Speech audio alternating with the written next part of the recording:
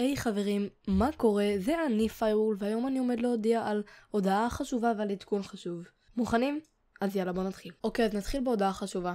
יש לי רעיון לסדרה חדשה שבה אני משחק איתכם, הצופים שלי. זה עומד להיות סרטון כל יום שלישי שבו אני עומד לשחק עם צופה אחר, שלי, ואנחנו עומדים לשחק ביחד מיינקראפט או CSGO או משחק שאתם רוצים, ואני חושב שזה רעיון ממש טוב, תגידו לי מה אתם חושבים עליו. איך אני אבחר את מי שישחק איתי? אז עשיתי איזה כמה שאלות שאתם צריכים לענות, למשל, איך קוראים לכם, מה השם הסקייפ שלכם, איזה משחק אתם רוצים שאני אשחק, ואז אני אגריל את מי שישחק איתי, אני אצור איתו קשר בסקייפ, ואז נשחק בעצם ב...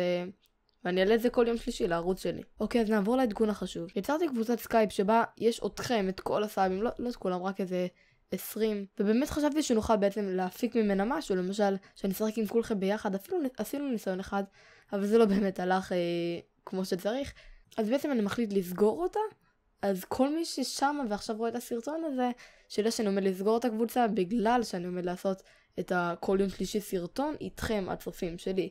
אז הקבוצה היא כבר חסרת משמעות. זה הסרטון שלנו להיום, אל תשכחו לענות על השאלון אם אתם רוצים לשחק איתי. אני איתי פיירולף, נראה אתכם ביום חמישי הבא או ביום שלישי, יאללה ביי.